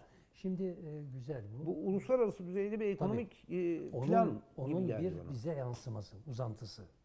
Tabii. Fakat yani şunun bir altını çizelim. Üreticinin o şikayet ettiği yüksek maliyetinin müsebbibi şu anda izlenen devlet politikası ve Evet. mafya gladio sistemi. 6 liranın üzerinde litresini satın aldığı mazotla yapılacak olan üretim budur. Bu kadardır. Tamam mı? Gübre fiyatı, bilmem işte tohumluk, ilaç, şu Abi falan suyu filan. var, Tamam mı? elektriği var, Bunları kim var. sağlıyor Halil? Kim yapıyor bunların hepsini? Bunları kim getiriyor üreticinin önüne koyuyor? Bu maf- mafya sisteminin tepesinde oturan iktidar sahipleri değil mi? İktidar ve muhalefet şeyleri, Bizim temsilcileri. tohumumuz O vardı. şirketler sizin kendi tohumumuz vardı. Var E, kendi tabii, tohumunu vardı. kullanmanı Vardı. yasakladı. İsrail tohumu Tabii getirdi. tabii tabii tabii canım Yani- tabii. Tabii. Çünkü çünkü ne olacak? Bir çökertme programı O bu. tarımı çökertecek, tamam mı? O tarımı bitirecek, sana mahkum ve mecbur edecek mafya sistemi, tamam mı? Mafya gladio sistemi. Senden almaya bütün, çünkü insan yaşayacak, 80 milyon insan. Nereden beslenecek, nasıl beslenecek? Senden almaya mecbur ve mahkum hale getirecek sistemin şeyi kuralı bu. Böyle kurulmuş. Sen de devlet olarak 30 yıl, hadi 70 yılda 30 yıl ama son 30 yıl tamamen buna hizmet etmişsin. Özellikle o Turgut Özal'larla beraber değil mi? Tamamen buna hizmet etmişsin. O 6 küsür liralık mazotu bilmem neyi ya İran bilmem kaç kuruşa vereceğim diye Vatan Partisi bağırıyor biliyor musun? Neredeyse bedava ya. Mazotu Türk değil mi? akım tabii Türk akım şeyini akımla bedavaya getireceğiz neredeyse şey Abi mazotu. anlaşma, para kazanacağız anlaşmaya varsak Yani- Suriye vermeyecek yani mi? Irak verecek ya, vermeyecek hepsi mi? verecek ya. vermeyecek mi? Mısır? Hepsi verecek. Hepsi verecek. Bunlara düşmanlık yaparak bütün şeylerin önünü kesiyoruz. 6 küsür liraya mazotu koyuyoruz şeyin önüne, çiftçinin önüne. Ondan sonra üret bakalım kardeşim diyoruz. Yani şunu demek istiyorum. Devletin müdahalesi şarttır Halil. Bir üretim ekonomisi için, bir üretim devrimi için. Böyle bunu yapacak bir devlet lazım Türkiye'ye. Bir Atatürk, Mustafa Kemal devrimi yapacak bir devlet lazım. Öyle tanzim satışlarıyla, şunlarla bunlarla oynayarak, oyunla olacak şeyler değil bunlar. O üretim ekonomisini inşa edecek, üreticiyi destekleyecek. Teşviklerle, şunlarla bunlarla üretimi Türkiye zemininde yapacağız. İthalata, yabancı şeye mahkum olmayacağız. Şu mafya gladio sistemini gömeceğiz, şeye, çöplüğe bitireceğiz ve kendi gücümüzle Türkiye ayağa kaldıracağız. Ha bunu yaparsa işte devlet bu. Yoksa orada şeyle e, tanzim satışıyla devletin demin küçük bir olumlu da bir asa adım dedim ama siz de zaten söylediniz acaba devlet harekete mi geçiyor? Geçecek abi bunu, bunu yapacağız. Hayır, ben Buna şunu söyledim. Mecburuz. Ya harekete geçersin ya hayat seni harekete geçmek Geçirecek zorunda bırakır. mecbur ediyor zaten ya. Tabii dayatıyor. Yani e, serbest piyasa koşullarında var mı böyle tanzim satış falan filan? canım, Yok. Demek tabii. ki dayatıyor bir şeyler sana onu. Tabii tabii. Peki e, Tayyip Erdoğan konuşmalarında sık sık şeyi söylüyor. E, kurla denediler olmadı, faizle denediler olmadı. Şimdi gıda ile deniyorlar. Ne Yani demek? Şimdi, yani şimdi orada e, Ben ara- pek katılmadım ona. ya Halil'ciğim şimdi diyor ki aracılar fiyatı Hayır, e, başka şeyi kastediyor. Bir takım dış güçlerin bize bu yolla saldırdığını söylüyor da kastediyor. onu söylüyor da ben ona bak e, bunlar zavallı şeyler, açıklamalar ben sana söyleyeyim. Gerçeği örten şeyler bunlar. Yani bu da bir gerçeklik payı var. Bak bütün şeylerinde söylediklerinin bir gerçeklik payı var ama en sonunda son sonuç itibariyle geliyoruz ve ana gerçek örtülüyor. Nasıl örtülüyor biliyor musun? Şimdi bu adam yani bunu söylerken Sayın Cumhurbaşkanı aracıyı kaldırıyorum bak bak ey millet işte devleti araya sokuyorum ve sana 3 liraya bilmem ne- neyi veriyorum falan derken aracıyı kaldırıyorum derken demin anlattığımız sistem içinde ulan en büyük aracı sensin be kardeşim ya. O mafya sistemi devam ettiği sürece o sözün ettiğin uluslararası şirketlerle iş yapmaya sürdürdüğün sürece bilmem İran'dan soğan bilmem nereden patates bilmem ne almaya kalktığın sürece o bırak sen aradaki o küçük aracıları sen ortadan kaldırıyorsun. Yani üreticiden alıp da markete götüren aracıyı kaldırıyorsun. Onu sen bırak en büyük aracıları, holdingleri, o uluslararası şirketlerle iş yapan, o ithalatı yapan, o büyük paraları kazanan, o mazotu alıp bilmem nereden Türkiye'ye getiren, taşıyan bilmem neleri sen ihya ediyorsun ya. Onları en büyük aracı e, yapıyorsun, örgütlüyorsun, koruyorsun. Hala korumaya devam ediyorsun. İtiraz ettiğimiz şey bu. Bunlar kalkacak. Bunlara son verilecek abi. Şöyle olsaydı ben anlardım. Mesela Venezuela'da çok büyük e, Amerikan e, şirketleri var ve bunlar gıda sektörünü olduğu gibi elde tutuyor. Evet, Şimdi evet. iktidarı beğenmediklerinde ya piyasaya mal vermiyorlar ya piya- e, piyasadan mal almıyorlar ama bir şekilde speküle edebiliyorlar. Dev bir yapı bu. Şimdi 12 Eylül öncesinde Ecevit hükümetine yapılanı görelim. Ne yoktu piyasada? Margarin yoktu. Evet. Margarin zaten yeni sokulmuş 60'lı yıllarda Amerikalılar sokmuş. Amerikalılar çekebiliyordu. Ne yoktu? Benzin yoktu. Kimindi e, akaryakıt şirketleri? Amerikalılarındı, İngilizlerindi, Fransızlarındı. Çekebiliyorlardı. Ama şu domates, biber, patlıcan olayında bu boyutta bir e, gıda tekeli, bu boyutta bir bilmem nesi yok ki. Kabz mallar, şunlar bunlar. Petrol ortadan kalksaydı anlardım Tayyip Erdoğan'ın Evet, söylediğini. evet, tabii, tabii. Tabii işte. O zaman anlardım. mesele o abi zaten. Bütün mesele o. Yani Venezuela'dakine ya da Ecevit'e yapılana benzemiyor. Bu, bu, bu beceriksizliğin ürünü. Tamamen sistemin Sisteme teslim olmanın sistem ürünü. sisteme teslim olmanın, onu hala sürdürme gayretlerinin, çabalarının zavallılığın bir ürünü. Biliyor musun Ali? Olay budur yani. Açık söyleyeyim. Ha tabii arada kötü niyetle e, şeyler Ama o hep mutlaka olur. var. Her Hep zaman olur. olan şeyler. E senin de denetleme mekanizmaların var. Denetle. E ben denetleme mekanizması var. Ayrıca şey var. e, yani senin teşvik ettiğin bir ortam bu ya. Senin teşvik ettiğin bir sömürü ortamı aynı zamanda. O aracı zaten onu demin anlattık burada. O aracılık sistemi zaten senin kurduğun bilmem ne ettiğin bir sistem. Diyorum Bundan kardeşim, sonra en büyük aracıyı Yabancı tohumu yasaklıyoruz. Yerli tohuma dönüyoruz. yapıyor musun Desene. Tabii. Değil mi? Tabii. Çiftçiye mazotu 6 liradan değil 1,5 O liradan kadar. vereceğim o desene. kadar, O kadar. İşte E, bunlar, süper e, bunlar yapılmadığı sürece. süper yata alınan motorinde aynı, traktöre alınan motorinde aynı böyle şey olur mu ya? Tabii bu olduğu sürece yani bu yapıldığı zaman Halil ondan sonra bunun üzerine o demin söylediğimiz tarişler, kooperatifler, üretici birlikleri falan hepsi yükselir bununla beraber ve hakikaten e, çiftçimizin, köylümüzün e, şeyle büyük emeğiyle ondan sonra devletin büyük teşvikiyle, özendirmesiyle ondan sonra büyük bir çabayla bir büyük üretim devrimi. Ayağa kaldırırız bütün Türkiye'yi. Ben sana söyleyeyim. Bırak sen ithalat bil- bilmem ne şeyini. Ya Türkiye 30-40 yıl önce bütün dünyaya e, ürün satan bir ülke, ihra- ihracat yapan bir ülke olmaktan Abi, nereye geldi ya? Sovyetler bakın Birliği'ne ya. e, mandalina, portakal ya. vererek e, demir çelik ya. tesisleri kurdurduk Evet ya. abi hadi bunları biliyoruz Halicim ya. Yani hakikaten ya. Ben sadece Atatürk devrim falan yani o dönemin de demiyorum. O dönem bir, büyük bir atılımla başladı ama söylediğin Ecevit dönemi, Demirel dönemi, bilmem ne dönemi falan filan da yine üretimin hep ihtiyacın üzerinde, tüketim ihtiyacının üzerinde olduğu ve it- ithalat, ihracata büyük e, katkı sağladığı şeyler dönemler. Ama şöyle de bir şey oldu. Kültürel anlamda da bu e, tarımdaki çöküş kültürel anlamda da bizim beynimize işlendi. E zaten her alanda. 60 evet. senedir işten. Biz ilkokuldayken yerli malı haftası olurdu. Kuru üzüm, Evet, ceviz, evet. portakal bilmem ne. Sonraki komedyenlere bir bakar mısın? Tabii ya. Yani e, onunla dalga geçtiler. Tabii canım. O kültürü dalga- ne yerlisi dediler. Yani bakın Turgut Özal'ın çıkışı Çikita Muz'da oldu. Aynen öyle. Kültürel anlamda da bizim sanatçılarımızın da kabahati var bu işin içinde. Hepsi tabii bu sistemin bütün sözcüleri ya üretici, çiftçi, işçi hani yük değil mi toplumun üzerinde bir yük olarak Tabii. ilan ettiler. Ya Turgut Özal'ın kültürü bu, kafası bu. Yani o felsefe, o şeyin sistemin felsefesi bu zaten biliyor musun? Bütün şeye sebep pahalılığa, enflasyona, cuna, buna buna. İşte o çiftçi bilmem vur ondan sonra onların tepesine kaldır üretim şeyini. Devlet ayakkabı ortadan. yapar mı? Evet, Devlet ya işte bunlarla E yapar tabii işte. 40 yıldır bunlarla uğraşıyoruz Halil. Bunların sonuna geldik. Şimdi biraz da bir bu programı izleyenler aslında bu söylediklerimizin büyük kısmını biliyorlar, anlıyorlar. Çok da iyi biliyorlar. Hatta bizden daha iyi bilenleri bilenleri var tabii. Hem de çok kalabalık bir kitle. Var mesela Vatansever şey var. için söylüyorum. çok özel bir yere gireceğim şimdi. Ee, Uluslararası Strateji Merkezi'nin yöneticileri var. Bu işleri çok iyi bilen. Abi çok iyi Ben onların biliyorlar. yazışmalarını biliyorum. Ee, hatta e, Tayyip Erdoğan daha tanzim satışı dillendirmeden bir kooperatif kurma girişiminde bulundular. Değil mi? Evet evet. Yani iki, iki ay kadar önce bir kooperatif girişiminde... Ne oldu o kooperatif kuruldu? Bilmiyorum.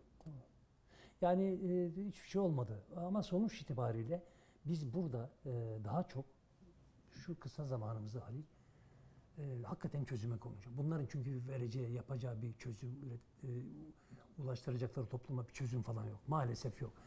Bak ne diyorum? Dönüyorlar, dolaşıyorlar, oradan dolaşıyorlar, buradan dolaşıyorlar. Gelir sistemin ortasına oturuyorlar arkadaş. Bitti iktidar ona yakın. Daha doğrusu bütün bu sistem içinde yer alan bütün kuvvetler için aynı şeyi söylüyorum. Yani sadece muhale- bu iktidar meselesi değil. Muhalefet yani. Partisi'yim diye Daha da beter. dolaşanların da bir çözümü yok ki burada. Yok abi daha da beter. Onlar daha daha da yani açalım kapıları bilmem işte e, ithalat diyorlar yo batıyla e, şey, ilişkileri geliştirelim Amerika ile alışveriş geliştirelim. Açık somut program yapmışlar bunlar. İyi Partisi, Cumhuriyet Halk Partisi bilmem ne yap. Yani onların hiçbir çözümü yok yani. Hiçbir çözümü yok. Hatta işte demin konuştuk Halil Bey bu şartlar zorluyor. Siz de söylediniz. Bu somut şartlar zorluyor ve zorlayacaktır. Önümüzdeki dönem göreceğiz. AKP en başta e, AK Parti olmak üzere Türkiye'nin bütün sistem güçleri bile bu doğrultuda ilerlemek zorunda kalacaktır. Ama en başta da AK Parti tabii. Göreceksin burada daha onlar adımlar atmaya mecbur kalacak. Aç kalmayacağız. Öbürleri zavallı ise, öbür zavallılar ise onlardan hiçbir umudum yok ya. Ya tabii tabanlarında ciddi uyanışlar, kalkışlar bilmem ne isyanlar falan olacak. Başladı zaten görüyoruz ama ya o si- siyasetlerle bunların ne gözünü açmaya, ne uyanmaya, ne gerçeği görmeye hiç böyle bir şey, şey niyetleri yok ya. Ama yaşayacağız bunu göreceğiz önümüzdeki dönem. Evet. Çözümü konuşalım tabii. Esas mesele o çünkü. E, Çözüm e, kendi gözlemimi söyleyeyim. Evet. Birkaç aydır, belki 6-7 aydır Evet. Türkiye'nin her tarafında Vatan Partisi'nin e, toplantıları var. Evet, evet. E, Tabii. ekonomik krizden çıkış ve üretim e, başlıklı toplantıları var. Zannediyorum oralarda çok e, konuşuluyor bu meseleler ve konuşuluyor oradan ya. bir şeyler çıkacak. Tabii. Tabii. Çıkıyor Tabii. daha Halil, doğrusu. Tabii.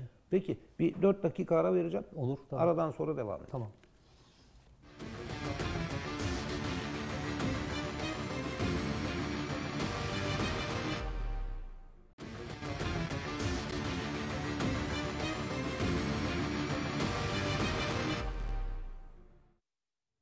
Evet şimdi e, patates, soğan, e, patlıcan bi- bizim şeyde var. E, jenerikte var. Terbiyesiz patlıcan diye. E, o işe bir e, ufaktan nokta koyalım. Konuşmamız gereken iki konu daha var. Birisi e, liderler bugün Soçi'de bir araya geliyor. E, onu soracağız Ferit İlsever'e. Ama çok da e, uzun e, konuşmasını istemiyorum çünkü yerel seçimlerle ilgili görüşlerini de merak ediyorum. Şu andan itibaren 20 18 dakika var. Evet. Takdir e, senin ne kadarını Soçi konuşursun, ne kadarını e, yerel seçime ayırırsın sana bırakıyorum. Yok beraber şey yaparız. iyi oluyor. Sizin de sorularınız aynı zamanda katkılarınız iyi oluyor programa. Yani e, gündemde olduğu için bunu alıyorsunuz tabii değil mi? Tabii. Gündemdeki meselelerden bir tanesi. Aslında Burada- benim gündemimde bundan çok. E, Evet. Çünkü burada İdlib e, öne çıkacak. E, buradan Burada söylenecek dediğin gibi çok fazla bir şey yok. bence. Benim gündemimde aslında iki şey var bölgeyle ilgili. Bir, e, Şam'ın bir açıklaması, Suriye ordusu tüm topraklarını geri alacak açıklaması. Bu bir takım e, bölücü, özerkçi, bilmem neyici e, şeyleri, emellerin ortadan kalktığını gösterir bence. Sen ne diyeceksin bilmiyorum. E, İkincisi, hemen burada e, Irak Başbakanı Adil Abdülmehdi Irak topraklarında yabancı askeri üs kabul etmediklerini söyledi.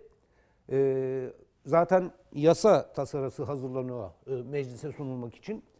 Her iki durumda da Amerika'nın ve Amerika'nın e, neden de- denir ona aparat aletleri, edevatlarının sonu gelmiş gibi görünüyor. E, ben daha çok bu konuya önem verdim. Ya şimdi Halil Bey bu iki konu zaten bugün Soçi zirvesi diyorlar. Astana toplantılarında aynı zamanda e, o toplantıların gündemi zaten biliyor musun? Yani orada bir araya gelen ve bugün bir araya gelecek olan Türkiye, Rusya ve İran e, cumhurbaşkanları, başkanları zaten bu esaslar, bu temeller üzerinde yani ne Suriye'nin toprak bütünlüğü, birliği ve bütünlüğü, Irak'ın toprak bütünlüğü ve emperyalizme karşı tavrı, emperyalizme karşı duruşu, dik duruşu. Zaten gündem bu. Ama sadece bu Irak ve Suriye ile ilgili değil e, gündem. Aynı zamanda tabii Türkiye için, İran için, ondan sonra e, Rusya için de önemli bir gündem maddesi. Çünkü bunlar buradaki öne çıkan bu başlıklardaki e, dik duruş, bağımsızlık, toprak bütünlüğü hepimizin toprak bütünlüğüdür ve bağımsızlığıdır. Bunların bölündüğü, parçalandığı, ondan sonra şey olduğu bölgede bir parçalanmış bölge tablosunda herhalde bütün bir halde bir Türkiye'den, İran'dan falan bahsetmek zor. Yani o bir ancak mücadeleyle ve bütün bölge bütünlüğüyle beraber sağlanacak bir e, şey değil mi? Bizim açımızdan da bağımsızlık ve özgürlük meselesi. Hep söyleyip duruyoruz bunları. Yani bugünkü zirvenin de ana şeyi bunlar, gündem maddesi bunlar. E Şimdi bunun somut bu noktaya, bu hedefe tabii ilerlerken ne ön plana çıkıyor? Şimdi Aydınlık'ta da bugün okuyoruz. Diğer e, yayın organlarında da var.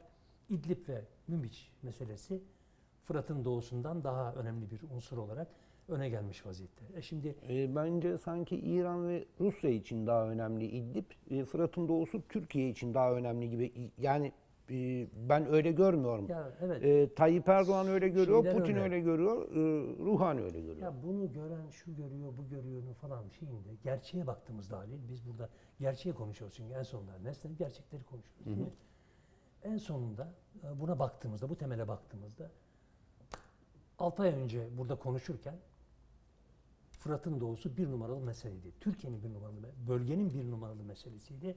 Hatta galiba ilk ortaya atılışı bir seneye yakın oluyor değil mi? Ee, yani evet.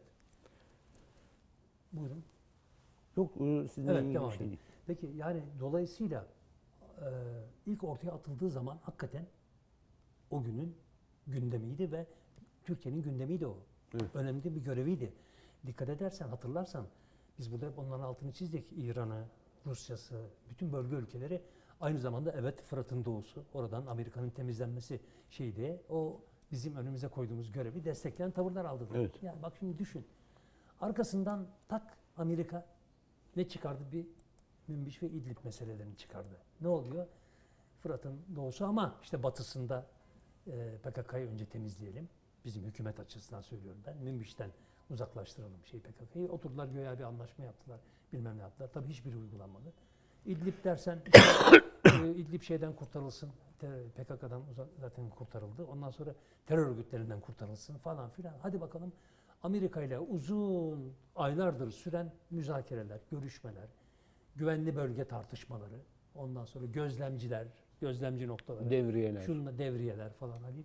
E ne oluyoruz abi? Senin Fırat'ın doğusu gündeme gelmiş olan olay, tamam? Somut gündeme gelmiş olan olay buharlaştı, gitti. Şu anda Fırat'ın doğusu ileride bir hedef olarak Sayın Cumhurbaşkanı tarafından söylenen bir şey. Yani yine söylüyor tabii, söylüyoruz ve zaten somut olarak Türkiye'nin gündeminde.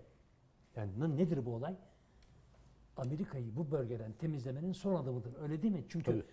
kara gücün dediği, esas dayandığı kuvvetlerin hepsinin üstlendiği tek yer, PYD kuvvetlerinin üstlendiği tek yer artık burası kalmış. Buradan temizlediğin zaman PYD güçlerini, bunların iktidar şeylerine son verdiğin zaman, çabalarına son verdiğin zaman bitti. Ne te- Türkiye için bir PKK tehdidi kalıyor bundan sonrası için ne de Amerikan tehdidi kalıyor Türkiye için ve bölge için. Yani bu nihai bizim hedefimiz. Öyle değil mi? Evet. E bunu şimdi Türkiye'ye bak. Ben şöyle görüyorum. Şimdi bakalım dışına çıkalım bütün yaşadığımız bu şeyleri, olayların dışına. Ya biz burada beraber de çok konuştuğumuz için Fırat Kalkanı, Zeytin Dalı operasyonlarıyla ne dedik Halil? Amerika'nın koridor planını yani ikinci İsrail Akdeniz'e açılma Kürdistan diye bir ikinci İsrail devleti üzerinden Akdeniz'e açılma senaryosunun önünü kestik. Büyük bir darbe indirdik. Öyle değil mi? Gerçekten öyle. Ha bak düşün. Ondan sonra yaşadığımız peki bu süreç, bu yalpalamalı, git geldi. Fırat'ın doğusu ama önce Münbiç, İdlib. Yok İdlib'i terörden kurtaralım. Bilmem ne falan filan. Git gel. Amerika'nın Amerika Birleşik Devletleri'nin, Amerikan emperyalizminin bu Fırat Kalkanı ve Zeytin Dalı'yla yediği ağır darbeden sonra Türkiye'yi Fırat'ın doğusu nihai operasyona ulaşmadan önce oyalama taktikleri değil mi? Oyalama taktikleri. Burada da sen oyalandıkça git gellerle, şunlarla, bunlarla o e, Fırat Kalkanı, Zeytin Dalı'ndan sonra bütün bölgede kazanmış olduğun inisiyatifi Amerika kaybolmuştu ya. Biz zaten Halil Bey Bir düşün. başka bir şey vardı.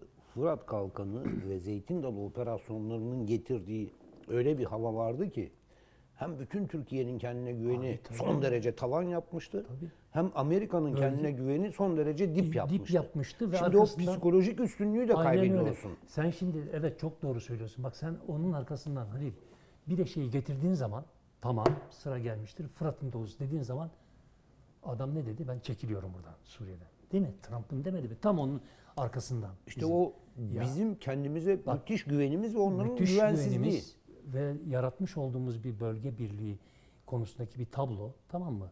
Karşı tarafa elbette bir tedirginlik ve güvensizlik yaratıyor. Adamın zaten programı bu ve bunu da burada ilan ediyor. Haydi ondan sonra tartış bakalım tartış. Günlerdir, haftalardır, aylardır. Ne? Ki hakikaten çekilecek mi? Nereye kadar çekilecek? Nereden çekilecek? Buradan Samimi çekilip mi? de ne yapacaksın? Haydi bakalım bırak. Ya arkadaş yani önümüze bakalım ya. Önümüze bakalım ya. Yapmamız gereken işleri. Sayın e, Soner Polat komutanımız bu konuda yazdı birkaç yazı Halil. Okuyorsun sen de. Ben tamamen katılıyorum. Özellikle, özellikle stratejide e, birçok unsura dikkat ediyor ama zaman faktörünü özellikle altını çiziyor ve bizim bunu kaybettiğimizi, zaman şeyini dikkate almadığımızı bu Özellikle psikolojik üstünlükte çok önemli. Yani öyle tabii zaman şeyini kaybettiğin zaman zaten savaşın esası bugün e, silahlı kuvvetlerle olmuyor. Halil ön şeyi, ön cephesi psikolojik savaşta oluyor. Elbette onunla oluyor. Psikolojik üstünlüğü de kaybediyorsun gerçekten. Demin söylediğin gibi moral gücünü, senin e, milletinin, toplumunun, devletinin ve askerinin tabii ki hepsi bir sarsıntı geçiriyor. şey ne yapıyoruz biz ya, yani? Bak şimdi şu e, Hendek Savaşı, Kandil'e büyük operasyon, Hendek Savaşı, e, Fırat Kalkanı, Zeytin Dalı. Evet abi. Şeye benziyor. Abi Türk ya. milli takımı e, Evet maç ya. yapıyor. Sağdan soldan vuruyor, sağdan Evet, soldan evet. ortalar ortalar. Evet, evet. 4-0 galipsin. Ondan sonra geriye yaslanıyor. Evet, evet. E evet. karşı takım toparlansın, Toparlansın demek Niye toparlansın? Adeta- Vur, iki tane daha at, üç tane daha at. Adeta onu yaptık. Toparlanmalarına imkan verdik, fırsat verdik ve bak ne oldu biliyor musun? O 6 ay önce burada konuştuğumuz büyük inisiyatif yani bölge ülkeleri tabii en başta Türkiye'nin ve Türk Silahlı Kuvvetleri'nin büyük çabasıyla kazanılmış olan önemli inisiyatif hadi kaybedildi demeyeyim ama e, gölgeleniyor ve yerine Amerika'nın yeniden umutları falan tazeleniyor. Bak yeniden İşte Amerika umut bırakmayacaksın adam. olmaz. Ceza sahasından dışarı Tabii çıkamayacak abi, adam. ya. Çıkamayacak ya. bitti ya. Bitireceksin orada işi. Zamanında bitirmedin. Bak burada da çok büyük şeyimiz var. Çok büyük hatalarımız var. Büyük kayıplarımız var. Yani hükümet açısından söylüyorum. Bu hükümet açısından söylüyorum bunu. Hayır, Yani izlenen politikalar bitti açısından. denen bir ordu, yarısı içeri atılmış subaylarının bir ordu neler yaptı, harikalar e, yarattı ve ordunun müthiş bir yükselişi oldu. Tabii canım tabii E, ya. Hangi Tabii. taraftan bakarsan bak Tabii. şöyle bir şey Tabii, var. E, zaman hep e, mazlumların aleyhine işler diye. tabii. Fransız devriminde hiç birbirinden Öyledir habersiz tabii. devrimciler doğrudan saat kulelerine Tabii. e, vurmuşlar. Tabii. Zaman bizim aleyhimize Tabii, işlemesin tabii. diye. Tabii. Böyle bir kural var. Bak Halil Bey, şimdi burada e, Münbiç, İdlib oyalamaları falan filan dedik ama ben bunlar kadar önemli belki başka unsurları da hatırlatmak istiyorum. Bu Amerika'ya yeniden inisiyatif veriyoruz. Ve bu yanlış politikalarla bunun zeminini hazırlıyoruz derken. Bak adam ne yapıyor? Bundan aldığı cesaretle hadi bakalım Doğu Akdeniz tatbikatlar. Öyle değil mi? Tabii Orada Mustafa Akıncı kışkırtılıyor. Federasyon tam biz Kıbrıs meselesinde çözüme NATO'yu yaklaşmışken. İran'a karşı. Ondan sonra Türk akımı bilmem Ukrayna'dan şöyle kesilir deyip bilmem oradan bir şey icat ediyor. Ukrayna e, düşmanlığı icat ediyor. Öyle değil mi abi? Yani sürekli bir şey halinde. Karadeniz'den, Akdeniz'den, Ege'den, Kıbrıs üzerinden falan bir tehditlerle tatbikatlar, şunlar, bunlar, tehditler bilmem neler. Yani şeye ekleniyor bu. O Suriye ve Irak'ın kuzeyindeki İdlib, Münbiç bilmem ne operasyonlarına, oyalamalarına diyelim ki o tür şeylere bir de bunlar ekleniyor ayrıca. Bak yani şimdi devreye bunlar da girdi. Biz bizzat Halbuki kendi biz elimizle adeta yani Fırat'ın doğusuna da girseydik oralardan sesini ol- bile çıkaramazdık. Olmaz deli, deli misin Ali? Ya bak ne diyorum ben sana onu yapabilsek yap- yaptığımız anda Amerika'nın bu bölgede ağır şey olacak. Çok ağır bir yenilgisi olacak bu biliyor musun? O şeyin söylediği Trump'ın söylediği çekiliyoruz'un hakikaten somut adım. Yani şimdi yine adı somut adımlarını görüyoruz. Göreceğiz. Bundan sonra da görmeye devam edeceğiz. Ben orada çok e, iyimserim. İyimserlik demeyeyim. Yani gerçeği görüyorum. Çekilecek arkadaş. Yenildi, kaybetti. Bizim bu hatalarımıza şu geri adım ve işte ikili ilerleme e, yalpalamalara rağmen yenilmiştir ve çekilecek. Ama be- burada şunu tartışıyoruz. Ya arkadaş niçin somut adım atarak zamanında atılması gereken yerde işi en az kayıpla hatta kayıpsız değil mi? Adam karar da vermiş, ilan da etmiş çekiliyoruz diye. Niçin bitirmiyoruz bunu ya? PKK'lılar kaçmaya Mesele bu. başlamıştı Ya bölgeden Tabii ya. böyleydi ya. Böyleydi. Ve şuna izin vermemek lazım. Çekiliyoruz demesine izin vermemek lazım. Defol git. Ya, ya göndereceğiz. Defol Zaten biz gönderiyoruz onu ya. Sonuçta bu bunu bir en önemlisi o Halil. Şey bunu ben böyle bir- kazandım ve ben gönderiyorum arkadaş. Ha, bu, tabii. bu ruh hali. Şu havada e, biz tamam ya ama ne olacak ki çekiliyoruz biz. Hayır kardeşim biz seni dövdük. Tabii biz seni yendik. Defol git. Ya, tabii göndereceksin. Gönderiyoruz biz gönderiyoruz ya. Bölge ülkeleri gönderiyor. Türkiye gönderiyor. Yani bir türlü e, bizim yöneticilerimiz ve bizim tırnak içinde aydınlarımız bizim Amerika'yı dövebileceğimizi kabul, kabul etmiyorlar. Tabii. E Bak- dövdük işte 15 Temmuz gecesi dövdük. Tabii canım. Bak şimdi Halil Bey e, dikkat et. Tam bunların arkasına bir de tam çünkü bak e, yani bu bizim Fırat Kalkanı oyalamalar şunlar bunlar. Aynı zamanda bizim içinde bulunduğumuz Çin Halk Cumhuriyeti ile tarihi kader birliği ettiğimiz İpek Yolu olayını da tabii çok ağır bir darbe indiriyor. Bunun da önünü kesiyor. Bunu da geciktiriyor, erteliyor biliyor musun? İşte Ve o- orada da Uygur Türkleri üzerinden geliyor Adam üstümüze. oradan da bunu çıkartıyor bu sefer. Tamam mı? Şimdi o şey üzerinden Suriye, Irak üzerinden indirdiği şeyle kazanmış olduğu bir inisiyatifle İdlib'di bilmem neydi falan filan anlattığımız Türkiye'yi durdurma inisiyatifiyle, önleme inisiyatifiyle bu sefer tabii şeye önemli bir e, şeyin farkında Türkiye-Çin ilişkilerine ve İpek Yolu şeyine önemli bir adım attığının farkında. Özellikle ki Akdeniz'deki tehditleriyle, şunlarla bunlarla. Ondan sonra dediği gibi hadi bakalım bir de Uygur. İşin yoksa e, bir de onunla uğraş. CIA şeylerini, kendi görevlilerini piyasaya sürüyor. Bütün dünyada ve tabii Türkiye'de haydi bakalım bir Türkiye-Çin düşmanlığı. Bir de şimdi bu şeyi kaplamış vaziyette. Bütün değil mi? Abi Piyasayı topla e, 4 dakika kaldı Ya o zaman e, seçimler için. Ya Onu konuşalım dediğin gibi bitirelim Halil. Ya şimdi bu tablo, ya bu tablo Halil'ciğim bak. Hem bu şey üzerinden, Soçi üzerinden sordunuz. konuştuğumuz tablo, bu yalpalamalar, bu zavallı bir Türk devletine, bir büyük devlete yakışmayan, devlet adamlığına asla yakışmayan tavırlar gün her gün neredeyse yaşıyoruz. İkincisi program başında konuştuğumuz o tanzim satışlarını sordunuz ve oradan üretim devrimine kadar ulaştık. Geldiğimiz durumlar hepsi, hepsi ve hepsi bu hükümetle gitmeyeceğini gösteriyor arkadaşlar. Türkiye bunları yapmaya mecbur. Burada konuştuğumuz çözümleri, orada bir üretim devrimini ve üreticinin desteklenmesini, burada bağımsız dik, başı dik duracak. Ondan sonra bölge ülkeleriyle işbirliği halinde Astana'sını, Soçi'sini böyle e, şeyle yalpalamalarla bilmem nelerle değil, kararlı dik duruşla şey yapacak ve Amerikan emperyalizmi buradan temizleyecek, dik duruşları yapacak hükümete mecbur Halil. Bak girdiğimiz ortam bu ve bu hükümet bunu yapamıyor. Yapması mümkün değil. Her uygulamasıyla burada saydık bütün şeyleri daha burada gündeme getirmediğimiz konularda dahil olmak üzere. Her uygulamasıyla burada e, şey yapıyor. E, bocalıyor ve yapamıyor. Yapamıyor. Bocalıyor Yani çünkü, se- seçimin birinci şeyi bu. bence. bocalıyor çünkü e, onun kafası, onların kafası hep Beşiktaş'a, Dolmabahçe'ye demirlemiş Amerikan 6. filosuna namaz kılma noktasında o noktadan çıkmış o düşünce anlayışı. Bizim kafamız o gemiden rıhtıma çıkanları denize dökme noktasında. Şimdi o tabii e, biraz şeyde kaldı. Çok önemli bir tarihi gerçek o. Hayır, Hareket hayır, noktası olarak söylüyorsun. Siyasi tabii. kültür olarak orada. Kültür olarak söylüyorsun. Şimdi O yüzden kültürde, zor. O kültürde, o Dolmabahçe namaz kılma kültüründe çok büyük değişiklikler var. Onun da altını çizelim ve Türkiye bu yolda ilerlemeye devam edecek. Bunların da kafası değişmeye devam edecek. Bu iki kere iki dört. Mecbur buna Türkiye. Yok öyle namaz falan bitmiştir. Onlar şimdi Namaz şeyler kılıyor. bitmedi de Yok. 6. filoya namaz bitti. Al- altıncı Şimdi filoya. kalkar bir tanesi sadece burasını namaz alır. bitti der. Namaz bitti Altıncı diyor filoya orada. namaz bitti. Onu iyi Parti falan devam ediyor. Etsinler daha. Onların da geleceği yok abi. Bu kafanın, bu şeyin geleceği yok. Ya şimdi burada önce bu hükümetle gitmez. Bu seçim dediğiniz için, seçim meselesi dediğiniz için. Peki bu hükümetle gitmez de onun alternatifi olacak bir muhalefet var mı? Hiç üzerinde durmaya bile gerek yok. Bu konuştuğumuz şeylerin hiçbirini yapacak böyle bir sistem içinde böyle bir muhalefet yok. CHP'siyle, İyi Partisi'yle hepsi Amerika'nın şeyine kuyruğuna takılmış. Ya bak ben e, tekrar tekrar burada konuşuyoruz Halil. Peki Türkiye gitmez de ne yapacak? Nasıl bir hükümet? Nasıl bir hükümet yaratacak? Ma- muhalefeti de böyleyse.